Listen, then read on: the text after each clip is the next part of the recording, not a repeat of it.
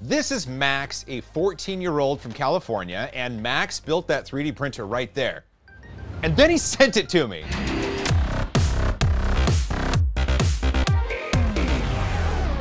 There you are. Welcome back. This is the famed Wizard 3D W1 that a 14 year old kid in California sent to me. And it's been a whirlwind of fun playing with this machine, fixing some of the things that shipping broke, and just being a mentor to this kid who has an incredibly bright future ahead of him. There are six questions that I'm gonna answer during this video, and I've got them right here on my laptop.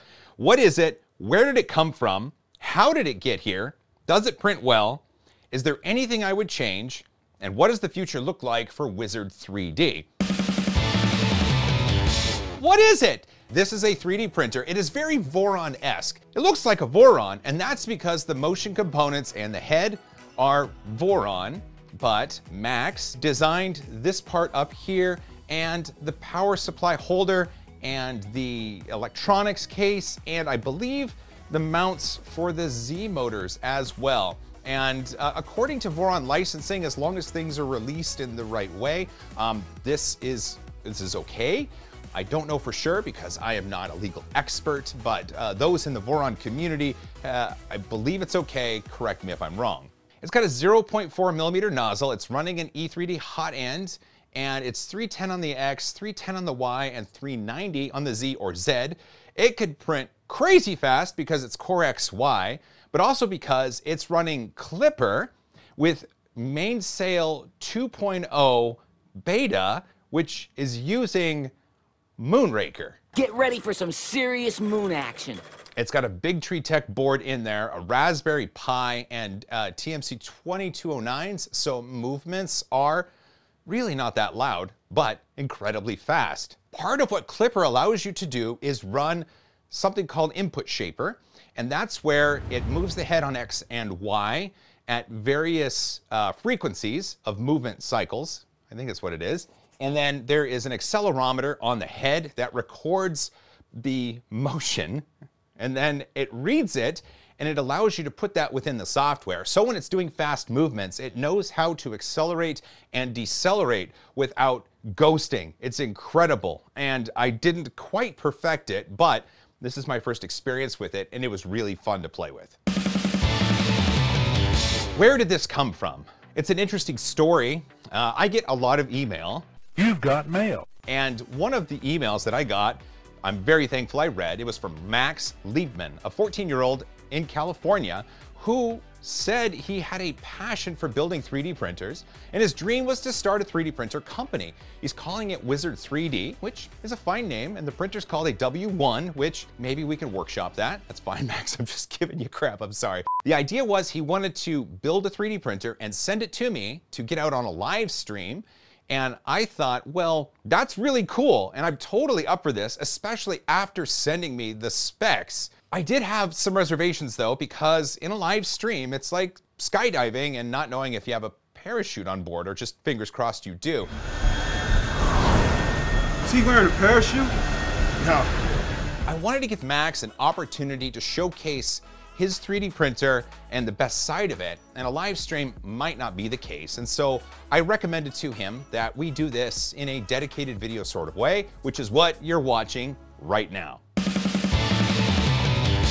How did it get here? Max and his family packaged this machine into a box and sent it to me. They wrapped up the frame in bubble wrap. The box arrived where I get my, my mail and I snapped a photo uh, as it was in the back of my wife's van and I posted it to Twitter and a lot of people were really excited about that. I got it home, I got this out of the box and the first thing that happened was these uh, TPU feet. These were on the bottom and they were super glued to the PLA.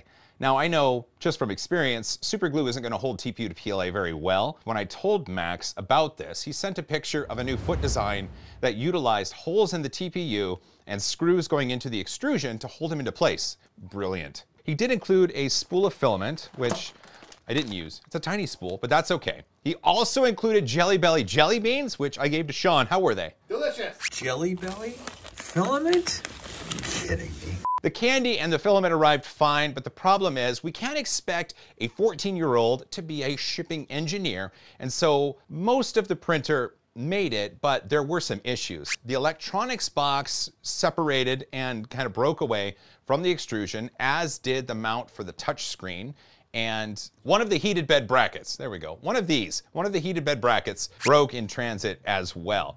So I had him send me the STLs and I reprinted them, and that's what's on the machine right now.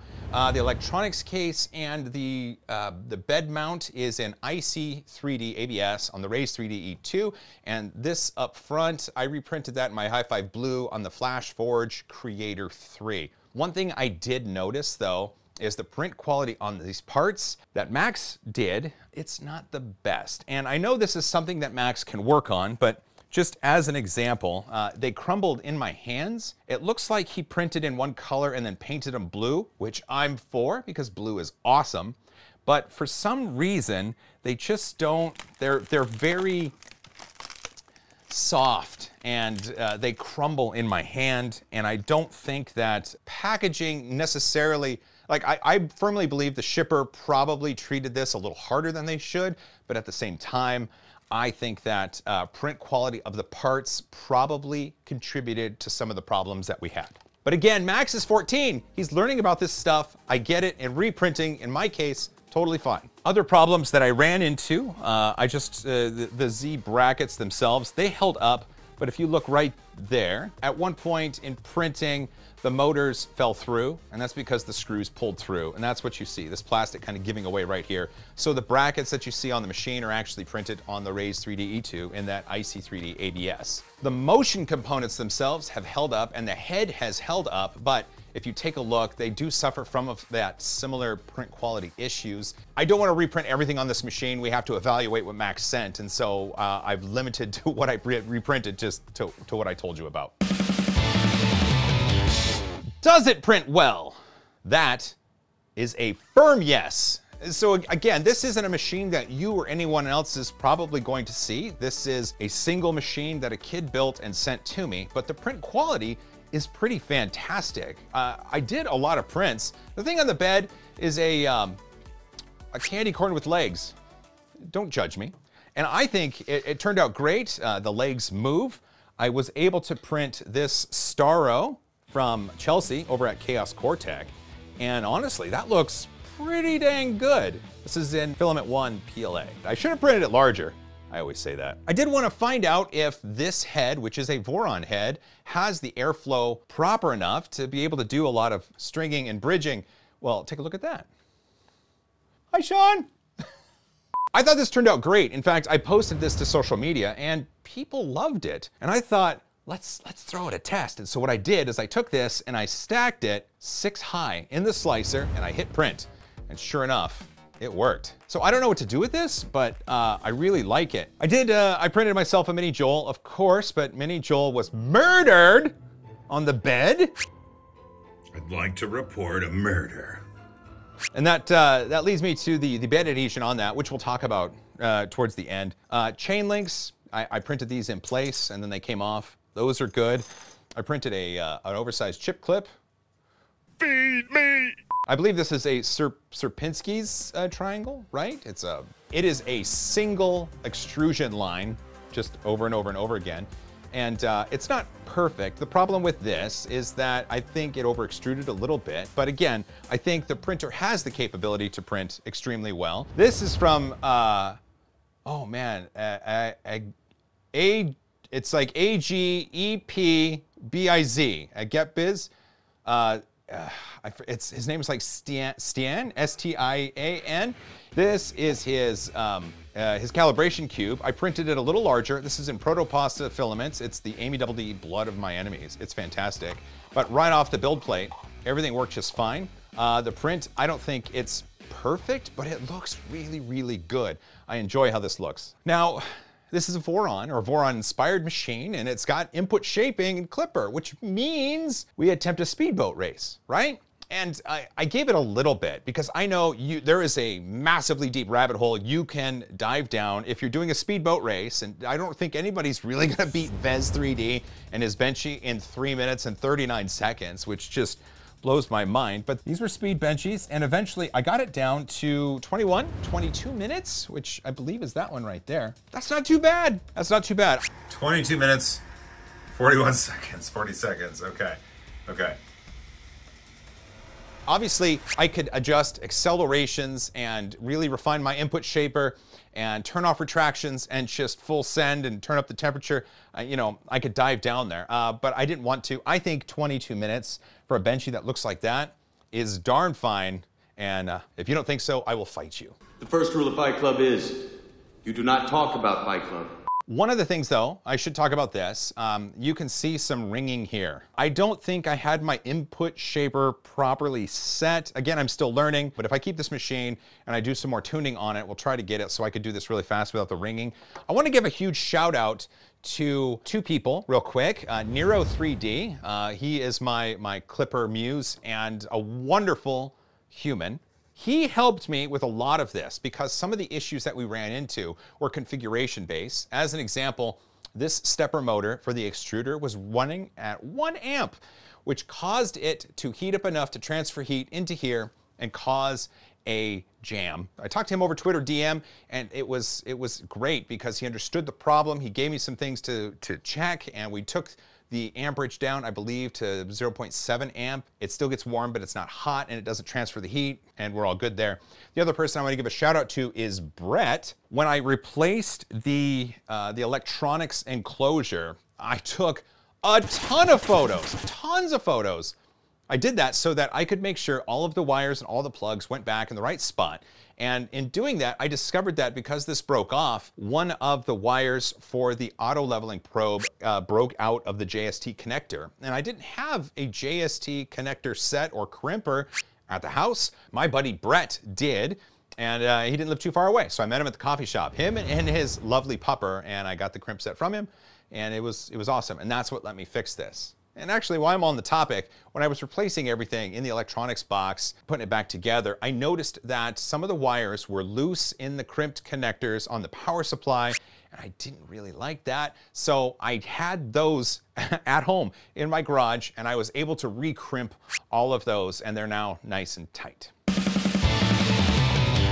Is there anything I would change about this? What I would change first is the way the machine is packaged. And rather than uh, bubble wrap around all the extrusions. I would utilize custom cutout foam. I think that's going to be the key to getting these things safely to customers. One of the other things I would change is the build surface. Right now, it's using a BQ flexible build plate. I didn't have the best luck with adhesion on that.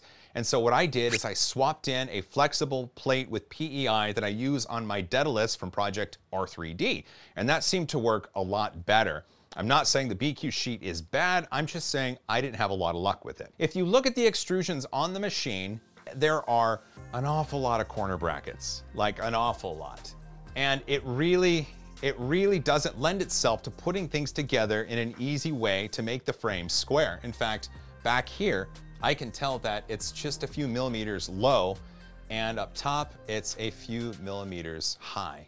If production were to happen and Max, I'm, I'm, speaking to you, rather than using a whole bunch of corner brackets, what I would do is screw into the extrusions. You can tap and drill the holes and use long screws to hold the extrusions in, and that will guarantee you a, the closest to 90 degrees that you're probably going to get, and it's gonna sturdy up that frame without having to worry about corner brackets and making right angles out of things. There's nothing wrong with the way this was done, but there's a lot more attachments that are keeping this machine together. And if you're shipping it fully assembled, that means there's that many more attachments that need to be checked by your customer in order to verify that the machine is square. Uh, next, I would print better parts. Max, I, I know you're 14, but I really have to kind of knock you on this a little bit just because the printed parts that you gave me, like I, I have in this pile here, they weren't of the best quality. And one thing you can consider, uh, there's a lot of people and print houses that will do orders of custom parts. In fact, my buddy Pooch over at Repkord has a 3D printing farm of Prusa's and Creality CR30s that could spit out a bunch of parts for you. He's actually in California. I don't know, maybe he's your neighbor. But what you could do is reach out to him and have a set of W1 parts that you send to him. And when you get a customer order, you could say, hey, Pooch, print me a set of parts. Or you could wait and have five or 10 part sets printed ahead of time that you would then take into your house and build the machines and ship them out. I don't know, those are logistics that, that you could work out. Finally, finally, there's no power switch. Obviously, this is this is not the worst thing in the world to knock someone on. You can use a power strip with a switch on it if you need to switch the machine off and on, but there is no power switch. And I did have to find myself reaching behind the machine uh, down to the power outlet to plug it in and out a couple times within the time that I've owned it. I think that putting a power switch on the machine is just it's that it's that little bit further touch of quality because you're offering essentially a premium product and you want to provide that premium experience. And one of the ways to do that is to put a power switch on it. What does the future look like for Wizard 3D W1? That is an amazing question. And I think that what, with what I've seen from Max, I think he's in a good spot. So Max at 14 is still, he's in high school. Uh, he's got homework. He's got high school things to worry about. How do you do, fellow kids? What? But at the same time, he's building machines and he wants to start a company and he wants to be able to hire people. In an email exchange, uh, part of the reason why I went from a live stream to a dedicated video is because if something went wrong in the live stream, it could kill it. But if something went right and he got a bunch of attention right away, he might not be prepared for that. I said, Would you be prepared for that much attention thrown your way? He said, You know, no, but here's what I could do. I could build a website and build in uh, a payment portal for people to be able to make pre orders. And then what I could do is make a PDF of an install guide for my family and friends to follow, and they can help me build the machines. And, and they can do that until I'm able to hire people to then build the machines. So at 14, he's already way ahead of the game in, in preparing for his company to be able to make these. And obviously, at this point, he can't offer hundreds, but I would imagine Max could probably take a pre order of a few, maybe five, maybe 10, source the parts, get them built, send them to customers, and then get the feedback. Uh, that's probably the next step. I don't know for sure because Max has homework. And so I don't know what sort of time he has right now to dedicate to this endeavor. But I do know Max is smart.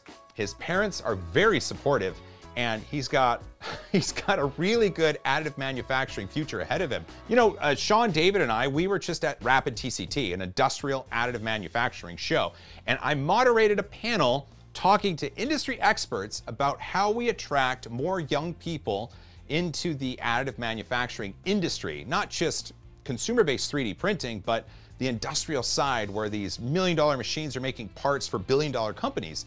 And part of it was finding kids who are inspired to get into this and then supporting them. This is what we're doing with Max, that 14 year old Wonder Kid in California. This isn't Max's last stop. And if and if Wizard 3D is successful, you know that's not to be his last endeavor in 3D printing. And there's a really, really good chance that Max is either going to take over the world or be an incredibly industrious, fantastic, inspired worker in the additive manufacturing industry for decades to come. So at this point, this isn't something you can buy. In fact, if you go to the wizard3dofficial.com website, there isn't really any place to put money in or to purchase or to pre-order. Uh, it's very limited in what's being offered. But again, he's 14, he's got to finish his homework, he's got a lot of stuff ahead of him. So Max, if I could recommend anything to you, I would I would recommend making sure that you get everything you need to get done as a 14-year-old, but then